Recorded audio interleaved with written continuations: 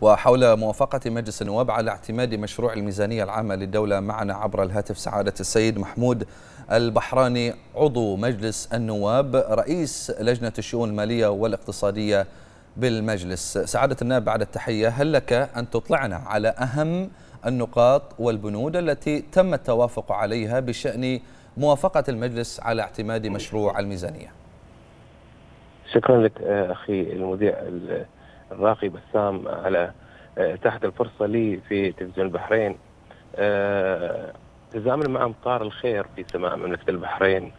جاء تمرير مجلس النواب اليوم للميزانية العامة للدولة لعامين 2021 2022 نتيجة جهود مثمرة وسلسلة من اللقاءات المشتركة مع الحكومة التي امتدت لأكثر من شهرين وأدت إلى توافقات تمكنا من خلالها الحفاظ على مكتسبات المواطنين وكذلك الإبقاء على برنامج التوازن المالي. هذا الإنجاز مهم مستلهم من التوجيهات السامية لصاحب الجلاله الملك حمد بن عيسى آل خليفة أهل البلاد الذي وجهنا دائما للاهتمام بالمواطن وعدم مساس مكتسباته ابدا. اعتمدنا بشكل كبير على مناقشتنا على المرئيات اللي قدمها اخواني أصحاب سعر النواب وتمت صياغة هذه المرئيات على شكل أسئلة تحولت بعد ذلك إلى أرقام في الموازنة. أهم بنود الميزانيه هو بند الحمايه الاجتماعية اللي ضمن علاوات الغلاء والإسكان واللحوم والإعاقة والضمان الاجتماعي وهي تمس شريحة اجتماعية ليست بسيطة في مجتمعنا يعني وهؤلاء يعدون أقل حظا. وحرصنا على تمس أي مكتسبات وجرى أيضا التوافق مع الحكومة لإحياء لجنة إعادة توجيه الدعم الحكومي لمستحقيه.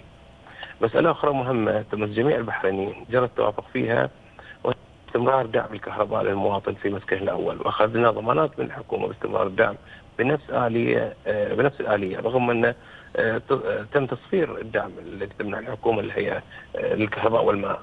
وضعت هذه الميزانية في نصب اهتمامها توظيف البحرينيين وتمكينهم في التخصصات الفريدة من نوعها في مختلف الأجهزة الرسمية. ووصلنا لتوافقات مهمة مع الحكومة في هذه الجزئية. توافقنا أيضا في تنفيذ برنامج استقطاب كوادر وطنية عبر تمكين مجموعة من الدراسات الدراسة والتدريب بهدف الحصول على مهارات فريدة من نوعها.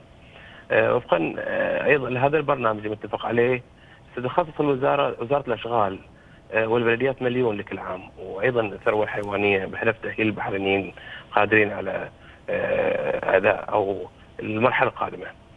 تدعم هذه الميزانية جهود وزارة التربية والتعليم في تمكين المواطنين وهي الجهة التي تشغل أكبر عدد من الكفاءات البحرينية. عبر هذه الميزانية قمنا بمضاعفة مبلغ المبالغ المخصصة لكلية المعلمين بالتوافق مع وزير التربية بهدف مضاعفة خريجي الكلية سنويا من 300 خريج إلى 1000 خريج تقريبا. وتتضمن الميزانية أيضا فرص للحكومة لاستكمال هياكل الجهات الرسمية بعد ما اجرى إعادة تقريبا 52 جهة حكومية ما يخلق فرص للتوظيف لاستكمال بعض الهياكل بالموارد البشرية. بالنسبة لملف المشاريع الحكومية تحت المشاريع الإسكانية المركز الأول والجزء الأكبر من المشاريع المزمع تنفيذها وتأتي غالبية المخصصات المالية من برنامج دعم الخليجي فيما تحل مشاريع البنية التحتية المركز الثاني في حجم إجمالي الموازنات المرصوده. تقريبا هذا ملخص أهم التوافقات بين السلطتين. نعم شكرا لك سعادة السيد محمود البحراني عضو مجلس النواب رئيس لجنة الشؤون المالية والاقتصادية بمجلس النواب شكرا جزيلا لك.